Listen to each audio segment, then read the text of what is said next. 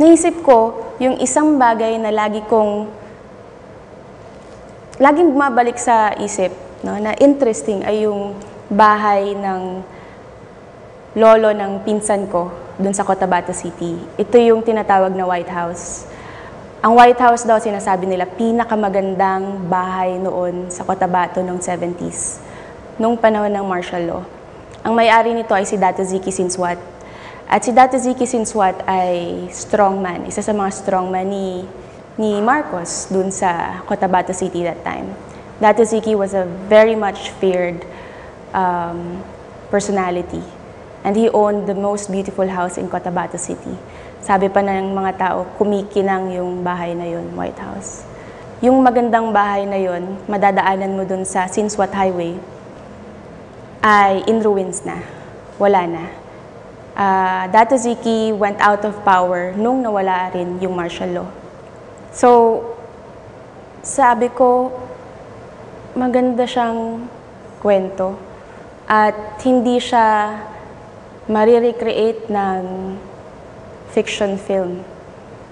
Magandang marinig yung mismong kwento mula sa mga tao kasi buhay pa silang lahat na dating nakitira doon sa bahay na yon.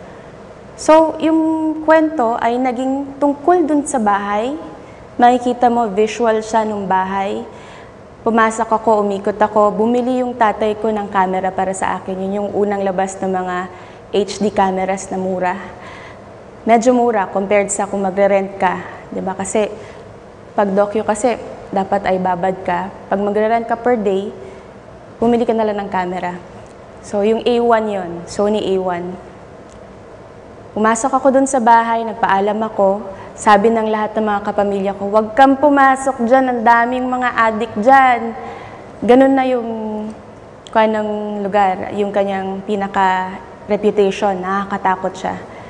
Pumasok ako, inikot ko yung bahay, makikita nyo na sira-sira yung mga dingding, may mga bullet holes dahil dati sa galit ng ibang mga tao, dumadaan sila, pinapa, ulanan nila ng bala yung bahay. Dahil nga si Dato Siki ay maraming napatay, uh, dahil sa, he had too much power. He had too much power. When you have too much power, you tend to abuse it. At yun yung kwento ni Data Siki. Pero, hindi siya ang nagkwento ng, ng kwento ng White House, kundi yung mga babae. Naniniwala kasi ako na yung boses ng babae, yung kwento ng babae, yun, nandoon yung mga detalye na hindi nasasama sa mga official history. No? ito yung sinasabi nga nating subaltern. In-interview ko yung unang asawa ni Dato Siki. In-interview ko yung asawa nung bunso na anak ni Dato Siki na pinatay sa harap ng kanyang apat na anak. In-interview ko yung mga pinsan kong babae. Yung tatay nila, nakita nilang binaril sa harap nila. In-interview ko yung asawa ni Dato Siki na pangalawa, si Bay Puti. Sa dulo, uh, nandito na kasi nakatira yung, sa Quezon City sila Dato Siki at that time. Uh, in-interview ko rin si Dato Siki, pinuntahan ko siya dito. No? Um, pagpunta namin sa bahay nila dito sa Quezon City, namangha ako kasi yung bahay nila doon sa Cotabato City na iniwan at yung bahay nila dito sa Quezon City, halos magkamukha no? malaki at dilapidated. Pagbaba namin sa taxi, nandun si Dato Siki, nakaupo, hawak-hawak yung kanyang puting baril. No, hanggang all the time, ganun pa rin si Dato Siki. Um, he's much feared because he always holds a gun. He wields power through that force, through that gun. No? Pumasok kami sa kanilang bahay at nakita kong ganun din yung uh, estado ng bahay, sira-sira. At nandun yung kanyang asawa at nandun yung kanyang nag-iisang anak doon sa asawa. Doon ko nakita na may pagbabagong nangyari dito sa dating kinakatakutan na lalaki. Sinabi niya, uh, in his twilight years, na pinagsisisihan niya na yung lahat ng kanyang ginawa. At hinuhont siya ng mga mukha ng lahat ng mga tao na ginawa niya ng hindi magandang bagay. No, na araw-araw na siyang nagsisimba. So it was a very good wrap-up. Pero, ang what was telling was, when he went out of the house, he went out ang natira dun sa loob ng bahay habang nagsushoot kami ng pinsan ko, sinamahan niya ako, ay yung kanyang anak at asawa. At paglabas na paglabas ni Dato Siki ay nagsimula silang magkwento. No? Nagsimula silang magkwento. Si yung anak niya, galit na galit na sinasabing, wala akong napuntahan dahil gusto ng tatay ko nandito lang ako sa loob ng bahay. Hindi niya ako pina, pinaaral dahil ang sabi niya ay mag-asawa lang din ako yung asawa niya ay ganoon din yung um, sentiment. And it ended there, yung walay. It's a compilation of the voices of women and um, juxtaposed against the ruins of a home that was um, guarded, that was built on the patriarchal system that was um, that is that was Datusiki. So it ended there, that story. Uh, I think after three years, namatay na si Datusiki. At um, yung mga pinsan ko, lahat sila ay may mga trabaho na sa iba't ibang lugar. Napunta siya sa Indonesia, pinalabas dun sa Film Festival Documentaire, at iyon na lang yung kanyang buhay. No? So, ganun yung docu na realize ko. Um, kahit, kahit na kaunti lang screenings niya, ah, it also, pala, sorry, it also premiered dito sa Pilipinas, dun sa Human Rights Film Festival, Contra Agos, uh, noong 2009, 2008. Uh, kasama niyo yung mga ibang documentary din from Mindanao uh, na under workshop ni Teng Mangansakan. At that time, nung akala ko ang manonood lang ng docu ko ay yung pamilya. No? Pero nung pinalabas siya dun sa Contra Agos Film Festival, pagkatapos na screening ay maraming lumapit sa akin at nakipagkwentuhan. Uh, uh, they were very much interested dito sa kwento ni Dato Ziki since what Uh, ang mga sinswat hanggang ngayon ay in power eh. Uh, and how the story of Dato Ziki Sinswat is very much like the story of the Ampatuans. No? Dahil yung Ampatuans ay 2009. The Ampatuan Massacre happened in 2009. Katulad yung, yung blueprint ng pag-aabuso ng kapangyarihan. Uh, so, doon ko na-realize yung kapangyarihan ng docu kapangyarihan ng, ng telling story via reality. Uh, it can bridge really communication through interest ng mga tao dun sa mga issues sa kasalukuyan. Yung ginawa mo, akala mo tapos na sa screen, pero hindi uh, maram, maaari siyang gawing, um, maaari siyang, ikaw nga, i-bridge no, sa mga nangyayari sa ngayong buhay ngayon. Dahil nga ay, ang premise ay representation nga siya ng realidad. Uh, hindi natatapos yung realidad na yun doon sa pagkatapos ng pelikula. Bilang filmmaker, docu-filmmaker, ay ginawan ko lang ng start, middle, at end ang end na yon ay lagit laging uh, limbo. So, habang ginagawa yon yung walay na yon, uh, yung walay, yung pelikulang walay, ang aking pinapag-aralan talaga nung panahon na yon ay cinematography. I took up cinematography in Mowal Fund. And at that time, I was also being hired by my batchmates and other students to shoot their films as the director of photography. So that was my, that was some, a tool that I had while, while shooting. I already had this um, cinematography language. No? Uh, so, habang ginagawa yung pelikula, ang pinaka naging challenge ay yung ma-overcome yung naging yung mga bias na regarding sa mga i-interview ng mga tao.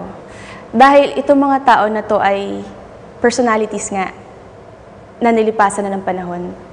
Pero even if years went by na, takot na takot pa rin ang lahat ng mga tao sa kanila.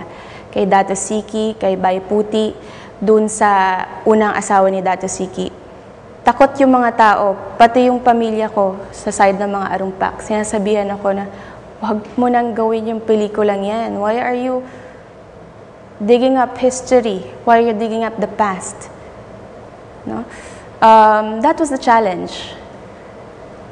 And strangely enough, and I knew nga, tama nga, hindi naman totoo. No? Pag kinakausap mo kasi yung mga tao, kakausapin mo sila bilang tao at hindi sila bilang stereotype o composite ng mga kung anong pagkakila, pagkakakilala sa kanila ng ibang tao. Kaya ka nga gumagawa ng documentary ay para mapalabas mo yung pagiging human no, nung iyong subject ng inyong story. So habang ini-interview ko sila, ay hindi sila nakakatakot. Hindi sila kung sino man yung sinabi na sila.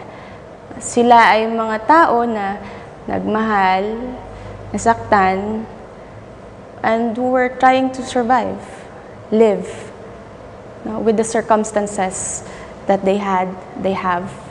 Hindi siya yung sit-down interview lang at pwedeng magkaroon ng iba't ibang layers ng voices, pwedeng maging poetic. Doon ko nakuha yung idea na pwede pa lang yun. Na pwedeng lumabas na finally yung naging isang uh, pinag-aralan ko rin, which is literature dun sa high school, which is writing, na pwede kong mapagbigkis yung lahat ng mga alam ko na pinag-aralan ko, writing, cinematography, storytelling. So yun yung documentary. Other than that, there was a dearth of um, source or influence at that time. So medyo hirap ako maghanap ng pwedeng ma-emulate na pelikula, na filmmaker, na documentary. Dahil nga ang documentary nga ay representation of reality at ang reality ay nagbabago per individual. So napakaraming bersyon ng realidad. At uh, sinasabi ko dun sa mga estudyante ko na sila bilang fledgling film, filmmakers, bilang mga artista, ay dapat alamin yon. No? Alamin yon para makuha at matutunan at malaman kung ano talaga yung boses nila, yung pagtingin nila. Yun, doon lamang makakagawa ng pelikula, ng artwork, ng scening, na sa tingin ko ay mag-resound. No? Dahil yun yung aking definition ng realidad. Realidad ay sila kung ano yung humubog sa kanila, kung ano yung sistema na ginagalawan nila. And they have to be aware and informed of all of those elements for them to make something that is good.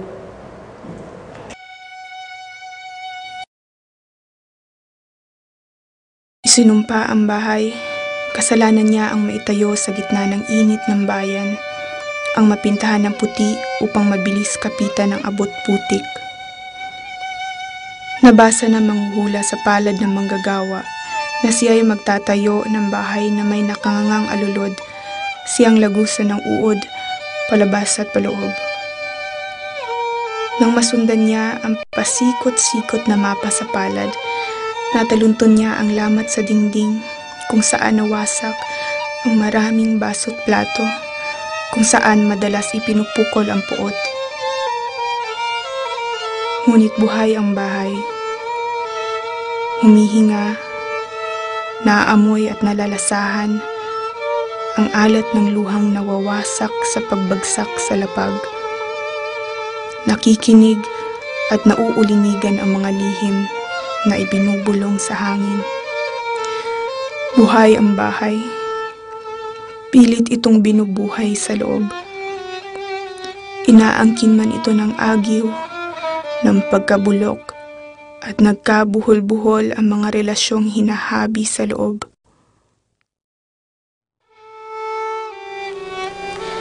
Yung White House na yon, ah, narinig ko na yon nung elementary pa ako kasi napaka-popular nung bahay na yun. Kasi yun yung pinaka isa sa mga pinakamagandang bahay sa Cotabato City. Siguro yung mga kaedad ko na lumaki sa Cotabato City, lahat kilala yung White House. Kasi yung White House noong panahon namin, yun ang pinakamagandang bahay sa Cotabato City. Kaya tinawag na White House eh, dahil sa kulay niyang puti, no? Na bihirang kulay noon ng isang bahay sa Cotabato. At saka ang nagmamayari noon, isang famous royal family ng Cotabato City. 1960s, 1970s, ganon. Sila yung pinakamayaman dito sa Cotabato City. So the family was really powerful, influential, and political leaders the province. Isa pa siguro sa dahilan bakit ah, medyo tanyag yung White House ay dahilan sa nagmamayari nito na si Dato Siki Sinswat. Kilalang kilala si Dato Siki, no? Ah, kilala rin siya dahil sa maganda niyang asawa, sa maganda niyang bahay, maganda niyang mga sasakyan, mga modernong armas, Considering that it was occupied by powerful people, everybody cannot ignore looking at the house.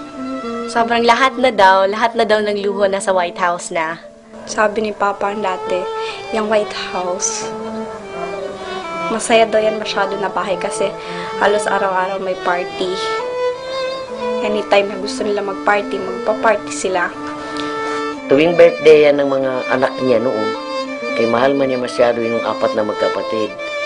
Magdating yung birthday ni Alma, yung kinukuha niya yung combo na playmates, yan. Tapos, magtugtog na yan sila. Nag-aayos-ayos na rin ng pagkain si Alma, mga kaibigan niya lahat. Tapos sayawan sila ng sayawan dyan. Ganon din yung mga kapatid niya. Pag magdating na rin birthday ni Muhammad, sinabi si Amid, kunin naman ni Dato si kayong playmates na combo tuwing birthday.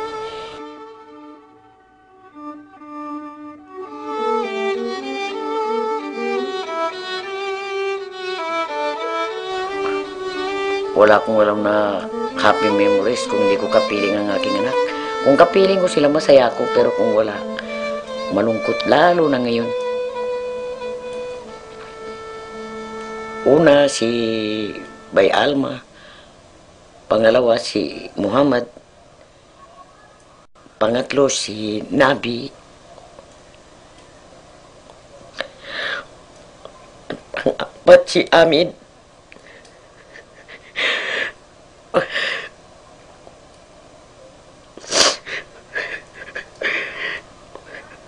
Yun lang ang anak ko, apat lang.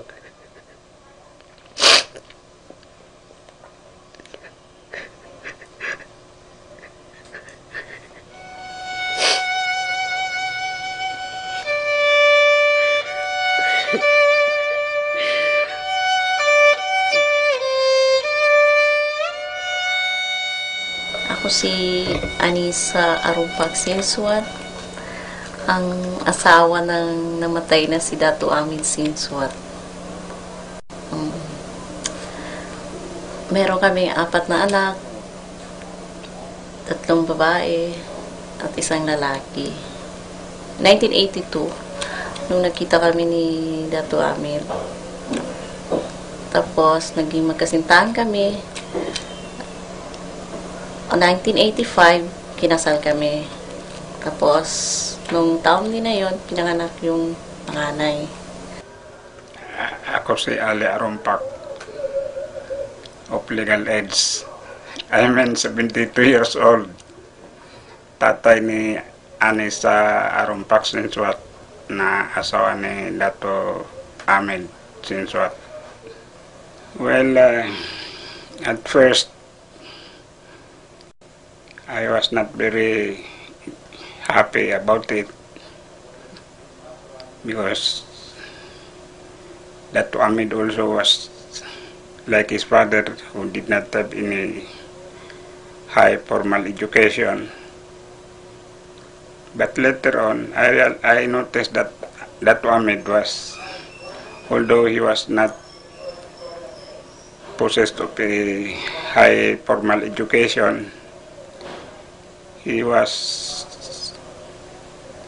really working for the good of the family, his family. Nung kinasal kami, doon na kami tumira sa bahay nila, tinatawag nila na White House. Ako si Aaron Arumpak, kapatid ni Anissa Sinswat, na asawa naman ng yumaong si Dato Ahmed Sinswat, na anak na may-ari ng tinatawag na White House. Lumaki na lang akong kilala na yun si Dato Siki dahil nga sa kanyang reputasyon. No? Um, si- ang pagkakaalam ko sa kanya ay base lang sa mga naririnig ko at nakikita ko tungkol sa kanya. Yung naririnig ko ay sinasabing mga ah, kayamanan niya. Nakikita naman yan dahil sa mga gamit niya. No? Meron na siya noong lan, ah, Nissan, Nissan Patrol na hindi pa nakikita yan kahit saan. Pero mayroon na siya noon. Yung mga bodyguard niya, eh, may mga Armalite na. Eh, wala pang Armalite noon kahit na sa mga sundalo ng Pilipino. Nakikita mo dumadaan yan, sakay ng kanyang magandang sasakyan. Katabi yung maganda niyang asawa. Kaya doon, doon namin nakilala si Dato Siki. The family, the clan was really influential and powerful. So, tawag nga kay Dato Siki noon, eh, siya yung taong untouchable. Hindi pwedeng hindi pwede yung tao makitaan na galit sa kanya o, o yung lumalaban.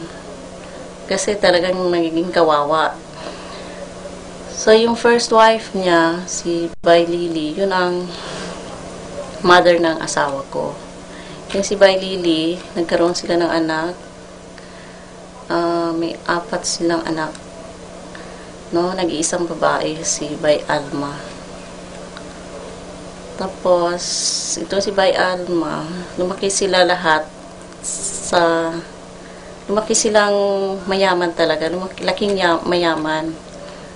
Nakatira sila sa five-star hotel ng mga ilang taon. Doon sila halos lumaki.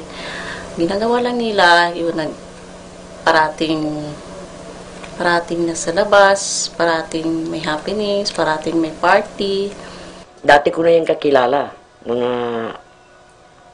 mga wata kami, pansa, saman siya kami sa Kinimi. Tapos nag-aaral ako dito sa Polytechnic noon. Diyan kami nag, ano, nagkita. Yung naging malapit ba kami sa isa't isa. Di ko rin matanda na nung taon yun. Nung kami ba nakagkilala. Tapos, yun na ba? Niligawan niya ako, nagustuhan ko rin naman. Ayaw ng nanay ko, ayaw rin ng magulang niya, kay magpinsang buo kami. Na hindi na kami makaya, basta yung kagustuhan namin ang sinunod namin. Kaya kami nagkatuluyan. Kinakausap ako ng magulang ko na wag mo sabi niya, parang ayaw nila kay Dato Siki kay kwan daw siya kamag-anak at saka mahirap sabi nila mag-asawa ng isang dato. Kaya wala kang kagustuhan, puro kanyang kagustuhan. Kaso naman ako, minahal ko na rin si Dato Siki kahit anong sabihin ng magulang ko, hindi ko naga, hindi na ako maniwala. Hanggang sa magkatuluyan na kami. So, ito si Dato Siki, very possessive yan siya na tao. Hindi pwedeng matingnan ng asawa niya. Hindi pwedeng lumabas ng basta-basta ang asawa niya nang wala, wala siya sa tabi. Lahat may security yan. Kung may tumitingin man sa asawa niya, binabaril niya eh. Oo, hindi pwede tingnan yung asawa niya. Kahit nasa, nasa loob ng sasakyan, kailangan may belo yan. Yung tinatakpan halos siya mukha. Meron daw yung mga, may mga kwento nga ng mga tao na meron siyang binabaril na tao pag tumitingin sa asawa niya o kung hindi niya barilin, sampalin niya, saktan niya. Basta grabe talagang ginagawa niya yun. So, yung ginagawa ni Dato Siki, masyadong matapang ba? Mabuti man siya noon. Nung hindi pa siya ng babae. Mabait siya sa akin. Lahat ng gusto ko, ibigay niya. Lahat ng sabihin ko sa kanya, ibigay niya. Kahit anong gusto ko, ibigay niya. Wala akong masabi sa kanya. Pera man dyan o ano, lahat nasa akin na. Yun lang, hindi ka pwede maglakad. Konti-konti, sinasaktan ka. Kung minsan hindi na ako makatiis, maglaban na rin ako. Mag mabuti man ang pagkikisama ni Dato Sige, pero nung nagkaasawa siya ulit, iba ng trato ng babae sa magkakapatid at saka si Dato Sige. Habang tumatagal, iba ng trato niya sa mga anak niya. Tapos, nang naghiwalay sila, dahil nag-asawa siya ulit, si Dato Siki ng another first cousin niya, si Swat din ang apelyido, si Bay Puti. Maganda ito, maganda si Bay Puti. Parang napakaganda. Pag, baga pa, parang artista ba? Masyado na, maputi, maputi, makinis, may tsura. Yung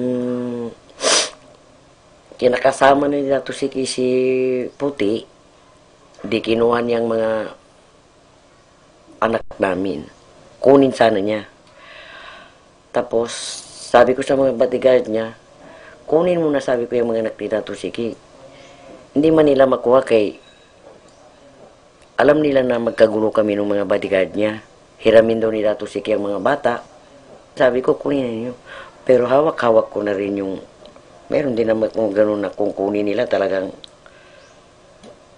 magalit ako. Sabi nila, pagbutin mo man sabi niya ba yung isipan mo kay ginahiram lang ni Dato Sige. Sabi ko, hindi ba sabi ko, kunin na ninyo. Ganun lang ang buhay namin. Kung maalaala ni Dato Sige ang mga bata, ipakuha niya sa bodyguard, pasundo niya. Minsan nandun siya, minsan pauwi-uwi siya dito kasi nga yung mga anak niya, gusto niya rin makita. May, may time pa nga daw na nag-rent siya ng bahay sa harap ng White House para lang kahit paano, pag nandyan daw mga anak niya sa White House, nasisilip niya sa bintana. Ganun, siyempre, mother, ganun talaga. Gawa talaga ng paraan. Kinausap ako ng nanay ko, sabi niya, ibigay mo na lang yung mga anak ni Dato Siki sa kanya kay magiging mabuti ang buhay nila sa tatay nila kaysa sa iyo. Hindi mo kaya buhayin ng anak mo. Sabi niya ganan.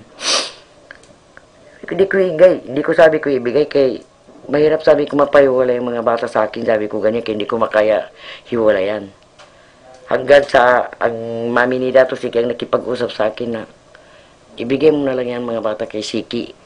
Kay kahit sabi niya kano katagal, kilala ka na nila, sa'yo rin mapunta ang mga anak mo. Totoo rin naman kay umalis ang tatay nila. Tapos, ang, ma- ang mga bata nagsilaki. Sa akin, mag, ang bagsak nila. Pero yun lang, iba yan, iba ng mga ugali nilang mabait lang sa akin si Hamid. Sa kanila may mabait sa laki. Ako si Alma Sinswat, anak ni Dato Ahmed at Anisa, na granddaughter ni Bay Lily and um, Dato Siki Sinswat. Tumira ako sa White House. Mm, elementary pa ako noon. So, nagstay ako doon for two years. So, sobrang dali lang. Mm, hindi na ganun kaganda yung bahay nung tumira ako doon hindi naman din ganun kasaya. Hindi naman din ganun kasaya nung tumira na ako doon. Dahil hindi na sila ganun ka ka-rich kumbaga. Kaya Oo, ka-powerful. Kaya hindi, hindi gaano. Ako si Ameda, anak ni Anisa at saka ni Ahmed Sinswat. Matagal na akong tumira sa White House. Elementary pa ako nun, pero hindi kami nagtagal doon. Limang taon na hindi ako nakakabalik sa White House. Hanggang ngayon hindi pa. Kasi yung si Mama, mas gusto niya dito kami sa kay Lolo Ali tumira. Pero yung dalawang kapatid namin, si Ningning at saka si Amiko, naiwan sa kanila. Si Papa naman yung inaasahan ng lahat kasi siya yung may trabaho, siya yung may pera. Si Papang lahat ang ano, ang may hawak ng buong bahay. Siya lahat sa gastusin, sa pag-maintain ng bahay, lahat sa paglilinis siya. Siya yung tipong tinatakbuhan ng lahat pag may ka- kaproblema. Si Lolo, lahat, sina Lola, mga kapatid niya, mga pamangkin niya, lahat. konti-konti lang magkasakit kami. Parang tarantang-taranta na siya. Yung hindi siya mapakali. Sige siya, ano, dalaw sa amin kasi dito man kami nakatira sa bahay ni Lolo. So, ako man ang sakitin. Ang ginagawa niya, nagsiset up siya ng ICOM. Kasi hawakan ko lang daw. Tapos kung hindi daw ako makahinga, tatawag daw ako sa kanya para itakbo ko daw siya, ay, itakbo niya daw ako sa hospital. Ganon siya ka, ano, Grabe. Mahilig siyang magbigay ng laruan. yun yun. Mahilig siyang magbigay ng laruan. Siguro ganun sila dati. laruan, laruan. Kaso lang, hindi ka masyadong mag-enjoy. Kasi mas masaya pa rin yung pumunta sa beach. Kasama ng mga kaibigan mo. Walang kasing stricto, sobra.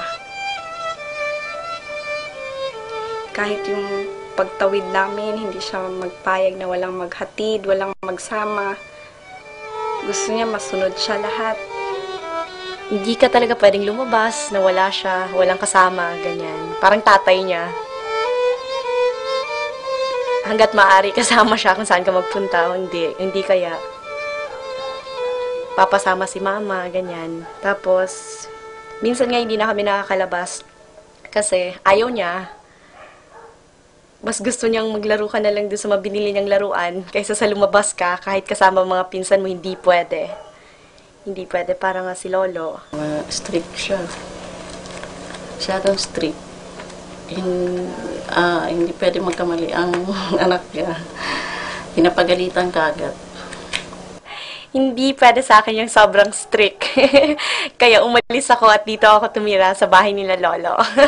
sa bahay ng papa ni Mama. Kaya dito ako tumira. Dahil nakakasakal. nakakasakal. At gusto kong lumabas. Mas masaya kaya yun.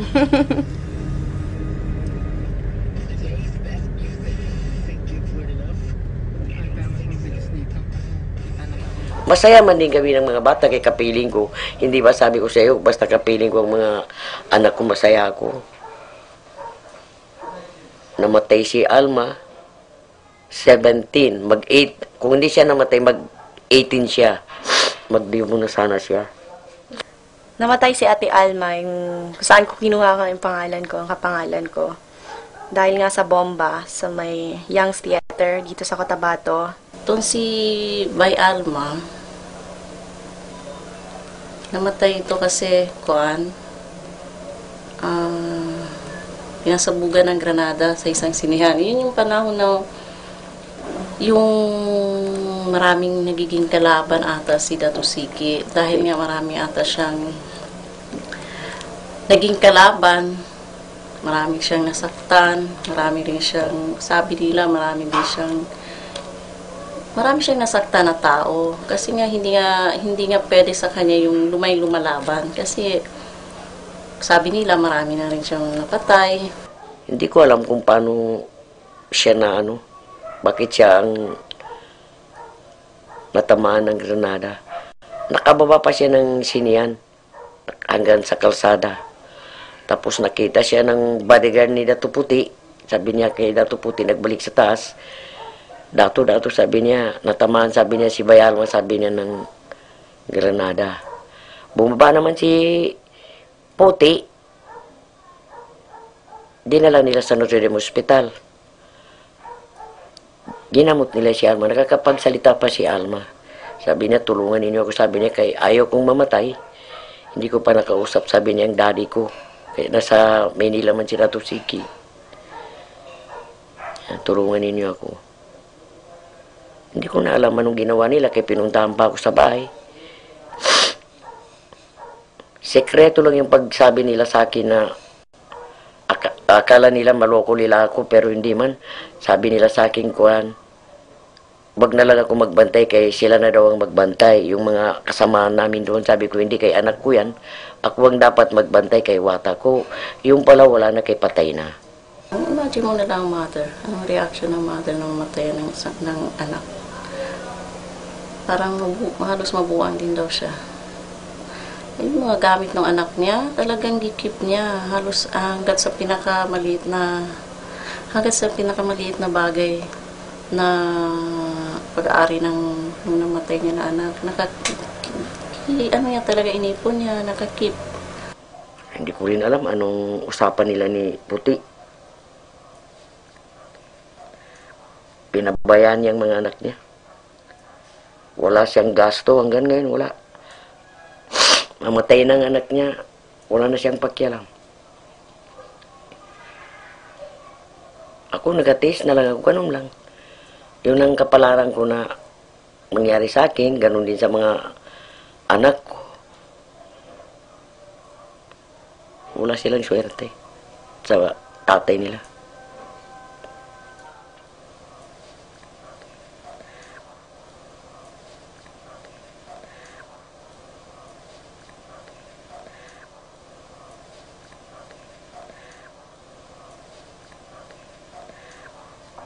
Parang pansin ko kay Dato Hamid, ayaw niya ko hiwalayan. Kaya lang kay may mga lupa rin kami sa Kinimi na dapat kong asikasuhin. Yun ang dahilan na kaya kami nagkakahiwalay na mag-uwi ako ng Kinimi. Pinakausap niya ako na, Mami, mag-uwi ka. Sabi niya sa Majel ko, kay bantayan ko rin yung mga sasakyan niya, yung ami ko. Sabi, sabi ko sa kanya, paano naman sabi ko yung kababayan ko sa Kinimi? Walang mag-asikaso. Hindi na rin siya nag-imik. Tuwing punta ko dito, usapin niya ako na doon daw ako sa Majel ko sa bahay niya doon. Hindi man ako magpayag. Siguro, kuan ba, yung hindi rin magtagal ang pagsasama namin na kaya gusto niya ako kunin. Ayaw ko man. Mayaman din ako sa asawa niya na magpabuhay ako kay Amid. every day, may routine na kami kung saan kami pupunta. Sa umaga, nasa bahay lang kami. Pagdating ng mga 5.30, 5 o'clock, nag-prepare na kami yan para maglabas. Yung mag, mag-stroll kami, yung nasa sasakyan kami, ikot-ikot. Tapos, mag-stay kami doon sa video house ng pamangkin ko. Eh, Basta 6 o'clock, nandun na kami sa video house na yun. Kasi, meron kasing barbecuehan doon sa tabi. Doon kami, doon kami nag-standby, doon kami kumakain ng pastil, ng barbecue, kung ano-ano. Basta doon kami nag-standby. Tapos, araw-araw, ganun ang trabaho namin. Tapos, yung time na yun, ah, hindi ako sumama sa kanya. November 5, 2000. Around 8.45 ng gabi.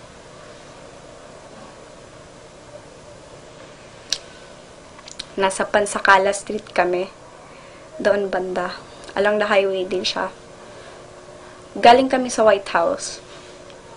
Ihatid niya na kami dito sa Oregon kasi may klase kami pagkabukasan. Sunday kasi yun eh. Nagstay kami, nagdumaan kami sa Tetox sa disc shop. May parang nagpapabili doon ng barbecue. Gusto niyang bumili. Kaya lang ubus na. Tapos yun, nagstay kami ng konti. Paalis na kami na nadatnan kami doon ng pinsan niya at saka yung kaibigan niya. Tapos yun, naka-on na yung engine ng sasakyan. Paalis na talaga kami. Tapos gusto na naming umuwi hanggang sa nag-uusap-usap lang sila sa harap namin. Tapos yung biglang may nag-stop na van, vanette. Andun kasi ako sa ano, Si Alma at saka si Apo nasa loob ng sasakyan. Ako nasa labas. Hindi ako natakot nun.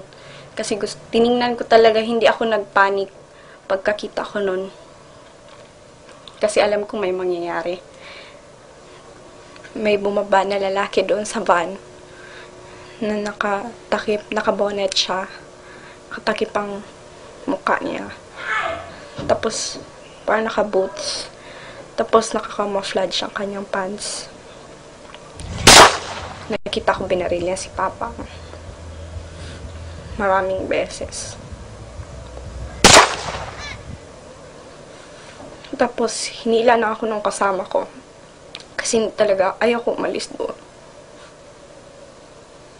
Apat kaming magkakapatid nasa harap nung nasa harap nung nasa harap niya nung pinapatay siya, nung binabaril siya. Hinila na ako. Tapos sabi nila, may bumaba pa na isang lalaki. Kasi yung unang lalaki, ang hawak niya is yung handgun lang. So yung sumunod, yung mahabang baril lang na niya, baril niya. Talagang puruhan nila si Papang. Habang nil, tumatakbo kami nung kasama ko, nila niya ako kasi hindi talaga ako umalis. Habang narinig ko yung malakas na putok, sabi ko wala na talaga siya. After nun, umalis na yung van. Pagbalik namin dun sa scene, tulog na siya. Nakahiga.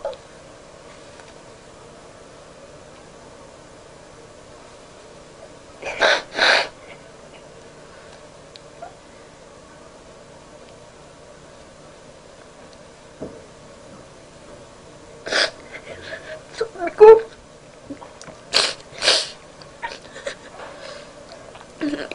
pwede mangyari kay Papa yun kasi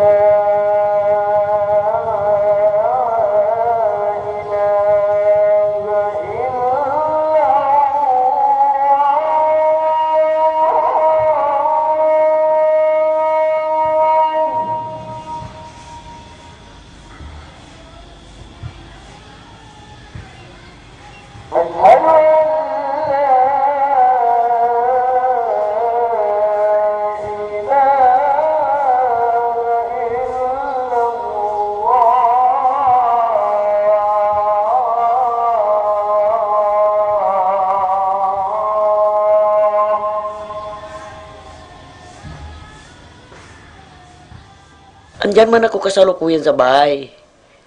Tinitignan namin yung video niya nung magkanduri siya sa kinimi. Tapos, natapos namin panoorin yung video niya. Sabi ko, magkakyat na ako, kaya magkain ako sa taas. Sabi niya, kailan ka? Sabi niya, mami, mag-uwi. Sabi ko, Tuesday. Wala, di umakyat na ako. Pag akyat ko ng bahay, umakyat yung control niya si Inda. Pamangking ko rin. Tapos sabi niya, babo, babo, sabi niya, tinimbak, sabi niya si Datuamid. Di, hindi ko na rin alam anong gawin ko. Di lahat, nagsitakbuhan na. Papunta na sa kanya. Naiwan ako doon sa bahay. Tapos sabi nung isang driver niya, bay, sabi niya, halika kay, punta tayo doon. Sabi ko, saan tayo magpunta? Punta tayo, sabi niya, kay Dato. Pumunta kami ng, doon ako dinala ng driver sa hospital. Doon ko dinatnan si Dato Amid na wala nang buhay. Buhay. Minatay. Buhay. Dinala namin siya sa White House.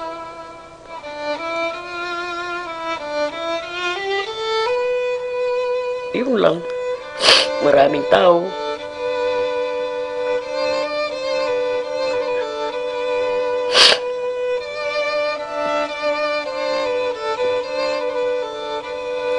Madakal dan Jaja. Malungkot ang buhay ko nung mawala si Amin sa akin.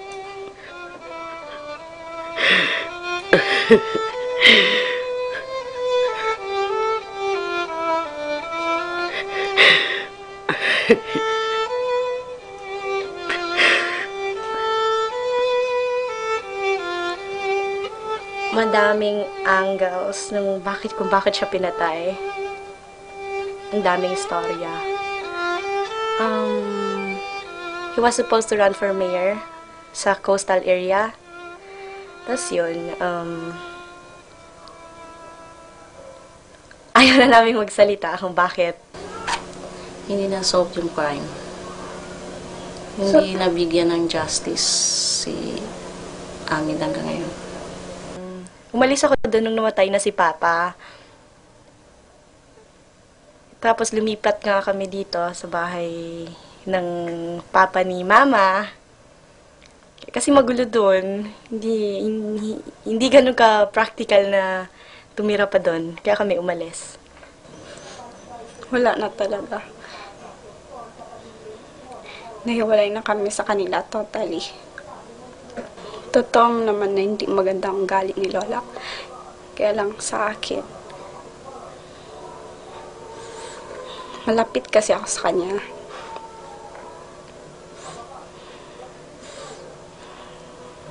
Kahit na anong sabihin nila, inalagaan niya pa rin ako. Madalas man ako makalimot. Hindi ko matandaan lahat ng mga araw, ganyan. Magtanong ako ganyan na. Manada, wala ba ako sa isipan? Habang tumatagal, matuwa ko rin, mamo. Matanda na rin ako. Parang dahil sa sarili ko. Lalo na kung magpasok sa isipan ko si Amid na bakit, siya, bakit niya ako iniwan. Yan, parang mawala na ako sa isip ko. Magyak na ako ng magyak. Bakit siya pinatay ng tao? Anong naging kasalanan niya sa tao na yun na pinatay siya? Kung namatay lang sana siya sa sakit, hindi sana masyado magsamang loob ko kay sakit. Pero ang masama lang doon, tao man ang may kagagawa na hindi din natin kilala. Pero bahala ng ala sa kanya. Kasi umalis man sila nung nung after ilang taon na namatay ang yung anak niya na panganay na si Ate Alma.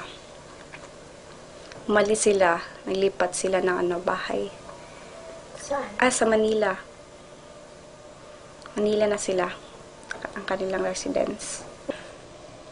Alam mo ng mga Muslim mag-asawa marami.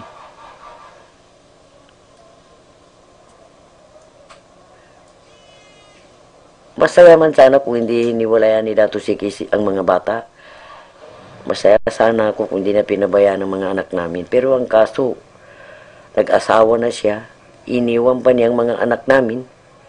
Hindi na bali ako kung akong iniwan niya, pero yung mga anak niya hindi sana iniwan. Pinabayaan niya. Hanggang ngayon, pinabayaan niya. Maubos-ubos ng anak ko mamatay. Parang baliwala sa kanya. Andun din siya sa bago niyang asawa. Nung naghiwalay sila, si Lola pumunta sa Kinimi, sa coastal area. Doon na siya nagtrabaho, nag, yung sa mga, sa Copras, sa Similia yon Nagtrabaho siya doon. Sa tingin ko, hindi rin siya nagtagal doon sa ano, Kinimi. Pabalik-balik siya. Yung kwento nga na nag-stay daw siya doon sa apartment sa harap ng bahay para makita niya yung mga anak niya. Kasi pinagbawalan na siyang bumalik doon sa White House eh. Kaya yun ang ginawa niya. Di ko na inisip na mag-asawa ulit kasi dahil sa mga anak ko na baka halimbawa mag-asawa ko, hindi niya mali ng mga anak ko, gulo lang. Tsaka lalo kung lalong mahal ko ang anak ko sa kahit na sinong lalaki. Siyempre, tunay mong anak, ang magmahal din sa anak ko, si Dato si Kirin, kahit na ganyan ang ginawa niya, siyempre anak din niya. Iba rin ang pagmamahal ng isang magulang sa tunay niyang anak. Nagtiis na lang ako, naghanap buhay. Mabuti rin. Mahal niya pa kasi si Lolo. Hanggang ngayon. Nakikita ko lang sa mata niya. Hindi ko matanda na nung petsa yung kay wala na itong nangyari sa akin na tumatanda na rin ang isang tao na parang hindi iba ng isip ko. Madali lang makalimot. Kuha na yun to. Ang araw yung pag-uwi ko. Tuesday. Kutandangin na petsa. Hindi ko matanda. Presently, nasa Manila siya. Nandun sila ng asawa. Ma- Nandun sila ng asawa niya, pati yung nag-iisa niyang anak kay White Puti. Na si Snow White. Sa Manila sila nag-stay. Matagal na. Siguro mga 10 years na sila doon.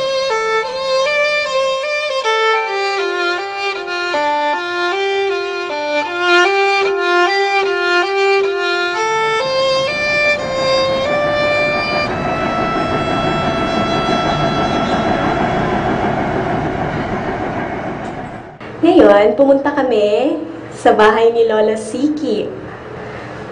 Um, nung umalis sila ng Cotabato City, dito na sila tumira. Dito na, dito na pinalaki si Tita Snow White, yung isang kapatid ng papa ko. Nandun din si Tita Puti, yung kanyang um, beloved, beautiful wife.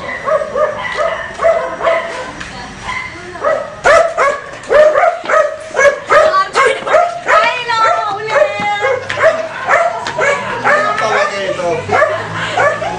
Talaga. Baka sa October ang bilog ko. Ba? Oo. Tapos October na doon po talaga kayo. Umiyawasal. Kapag dito nagkakakuha ko, pero mata ko lang yan ako. Kasi hindi na maaari ni maayos ang property sa mabuti at sa masabi yung gagawin. Huwag hindi ko na sabihin sa inyo, wala kailangan niyo. White House, gusto niya magbili ng White House eh. Wala lang, paper. Gawin ko na 1 plus 1 equals 5. Hindi niyo naman po namimiss ng White House. Ano White House? Ganda yan dati, di ba? Ngayon daw. Oo. Hindi ko na nakikita, matagal na po ako hindi nakakauwi. Gandang babae, no? Nakikita mo? Mm, sobrang kaganda. Sobrang ganda yan. Miss American of the Philippines yan. Ano, Lala? Miss American of the Philippines yan. Oo nga, narinig ko. Naging Baguio, something, something. Libyan ng lolo yan. Wow. Ah, Oo, ano na ba nangyari ngayon sa bahay ngayon? Sira na. Sira na? Anong pagkasira? Sira na, wala na talaga. Ibig sabihin walang bubong? Meron pa naman, pero yun na lang. Walang Skeleton. skeleton? What you mean by skeleton? Parang, ano ba yung ating issue ba? Yung parang Wala na yung dingding. walang dingding?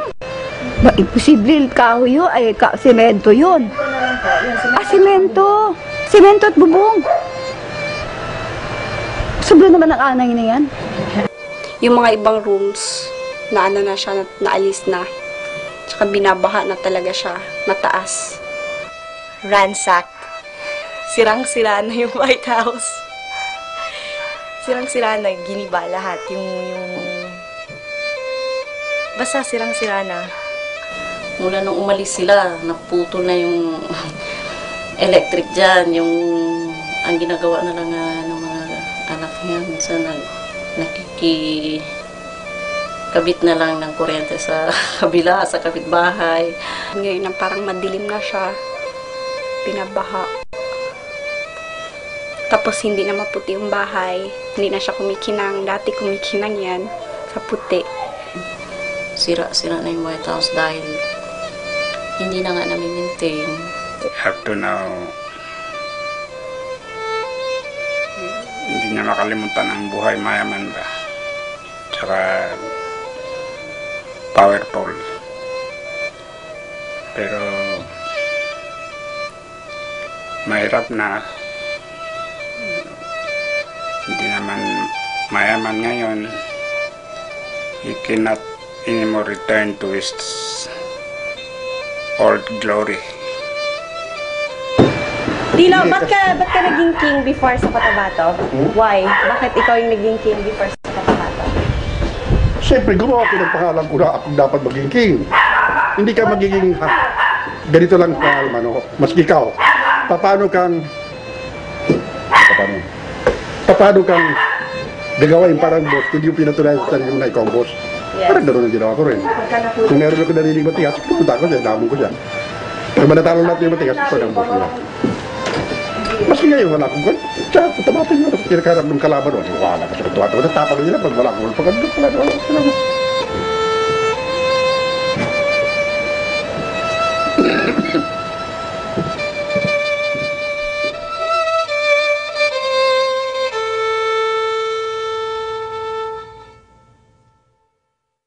Isinumpa ang bahay.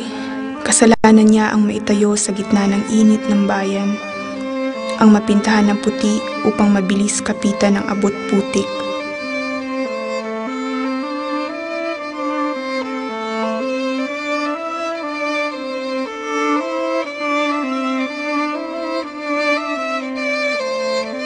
Nabasa na manghuhula sa palad ng manggagawa na siya ay magtatayo ng bahay na may nakangangang alulod, siyang lagusan ng uod, palabas at paloob.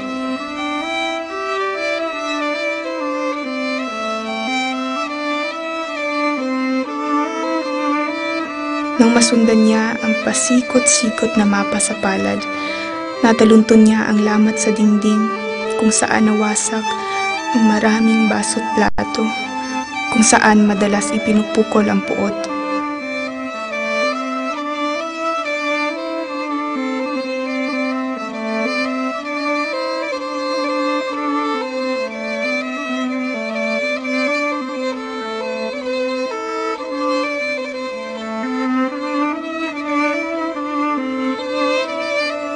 Buhay ang bahay. Humihinga, naaamoy at nalalasahan ang alat ng luhang nawawasak sa pagbagsak sa lapag.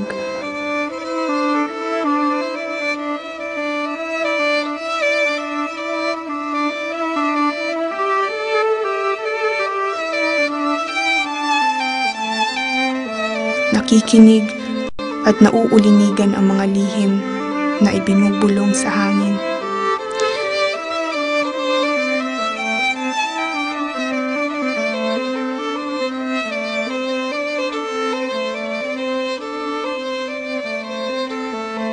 Buhay ang bahay. Pilit itong binubuhay sa loob. Inaangkin man ito ng agiw, ng pagkabulok, at nagkabuhol-buhol ang mga relasyong hinahabi sa loob.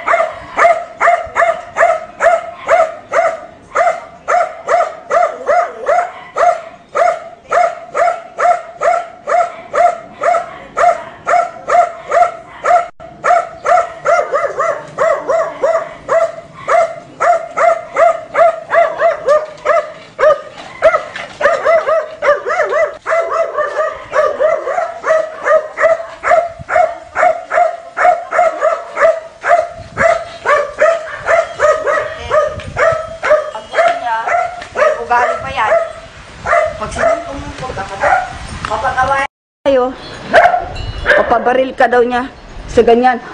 O bakit? Pinapag-intrige, ang tawag niya, sabi namin, intrigero, titang, U, intrigero! Ano ba yun? Imbes mahalin ka namin, parang gusto niyang palayo ka. Tingnan mo, nagtatago ito. Kasi nga, pag kami nito ulo niya, kayong ginagawang pangontra sa amin. Is that right mentally? No way! Yeah, we know that. Sarap nga minamahal ka? Kaya yun dahilan, nag-aalog siya, magpaalam ka sa pinto. Tit, ano ate?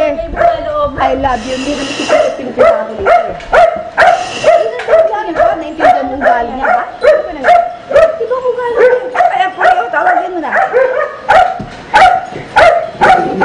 Daddy doesn't understand anything, Jaja. Okay. Hindi hindi niya maintindihan. Kung naintindihan niya, sana hindi niya ako sinulong sa bahay. Kunyari siya protected sa ibang tao, kunyari ganyan. Pero sarili niyang anak, wala siyang napatapos sa amin.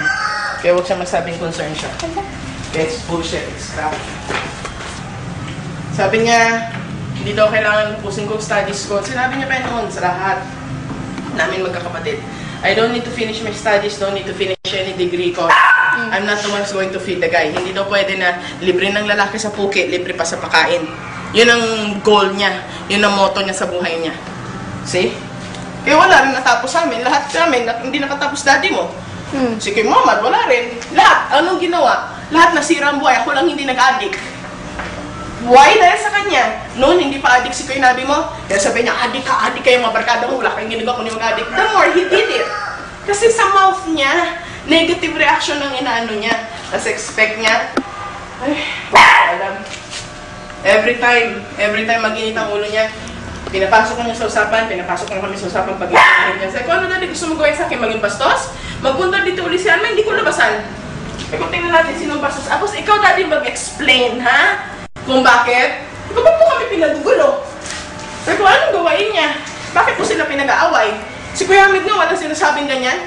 Ang sinasabi sa akin, kung nandito ang anak niya sa Manila, ako mag-alaga, tapos bakit mo kami pinag-aaway? Kung, kung gusto mo, bantayan mo po itang ako mo, bantayan mo. Ko, pero hindi mo mabantayan. Pumunta na nga siya sa Amerika, wala kang alam. Nagigit. Tara po nga.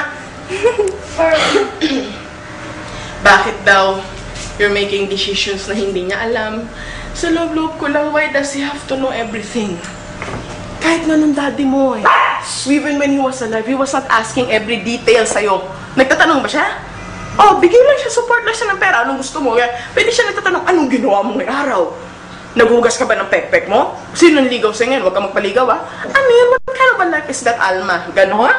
Di huwag ka na mag-aral. Huwag ka na mag-stewardess. Ibig sabihin, ayaw niya yon. Ayaw niya tumas ka, hindi ka niya mahal. Ganon yan eh. Kaya yun ang ginawa niya sa amin. Kahit naman isa sa amin, wala siya pinaaral. Mabuti lang, nag-strive kami. Ginamit namin utak namin. Kundi ano, illiterate? Kagaya niya? Mm-mm. Dito, nag-aaral ako sa net. Sabi niya pa. Oh, kagabi naman, nagpatugtog ako. Kasi nice kong surround ko. Asar naman siya. Kasi tulog na yung mga tao dyan. I don't give a shit dyan sa kapitbahay namin. Dahil pag tulog nga kami, ingay-ingay din nila. Tapos sabi ko, ang duwag-duwag mo. Pag sa tama, duwag ka. Pag sa mali, matapang ka. Matapang ka pag may baril ka. Sabi ko, ako hindi ako ganon.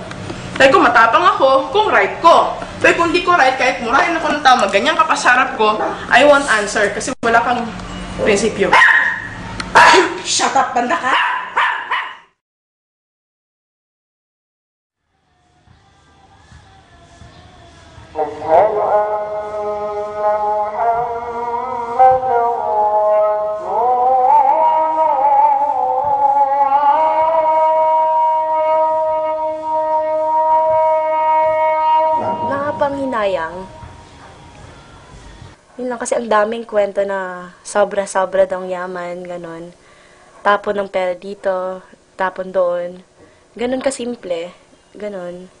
Nagagawa lahat ng gustong gawin, nabibili ang gustong bilhin. Nagiging... Yun lang, um, okay na siguro na nangyari yan para para mas mas para yung, para sa mga anak niya hindi nga dumaan sa hirap kaya nga nahihirapan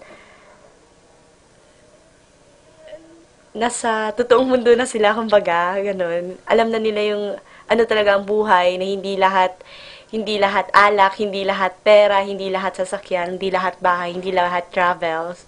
Si Papang, marami siyang natutunan doon sa pagbagsak ng parents niya.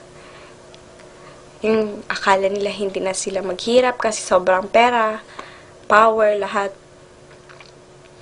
Kaya ang ginagawa niya sa amin, ayaw niya kaming konting, nakikitaan niya kami ng konting yabang. Kaagad, kinokorek niya yun. Ayaw niya yun. Ultimately, gusto ko maging diplomat. Pag di, kapag diplomat ka, nakakapagbiyahe ka. 'Di ba? Number two, wala lang ganun siya ka-prestigious. Pag sinabing diplomat ka, wow! Pero, pinaka-goal kasi, yung nakakapagbiyahe ka. Tinry kong maging um, flight attendant. Actually, natang in fact, natanggap ako sa isang airline. Ang plano ko mag politician. Hindi alam nila mama. Gusto ko ako ang magsunod kay Papang. Pero hindi ko in-open kasi ayaw ni Mamang ng politics. Kaya kasi nangyari kay Papang, natatakot sila. Si Papang kasi gusto niyang maging leader doon sa UPI. Kasi malapit siya sa mga tiruray. Tinutulungan niya. Gusto ko rin maging ganon. Gusto ko akong magsunod sa kanya. Gusto kong pumunta dito dahil gusto kong maging backup. Gawing backup ng pamilya ko. Kasi hindi naman, wala, ganun, ganun kami kamahal ni mama. So, hindi, hindi namin kailangang magpaka, magpaka, ang tawag dyan, mag- magpaka-hirap or something. Kaya ako na dito dahil choice ko din naman. Choice ko na, in case na walang matakbuhan mga kapatid ko, at least nandito ako. Choice ko yun.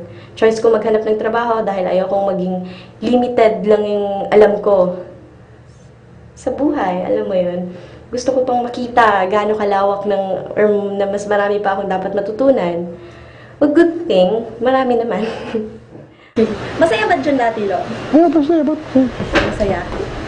Ikaw ang hari dun before. Ito, natakot talaga. Hindi lang doon. Sa buong Cotabato. Ikaw hari.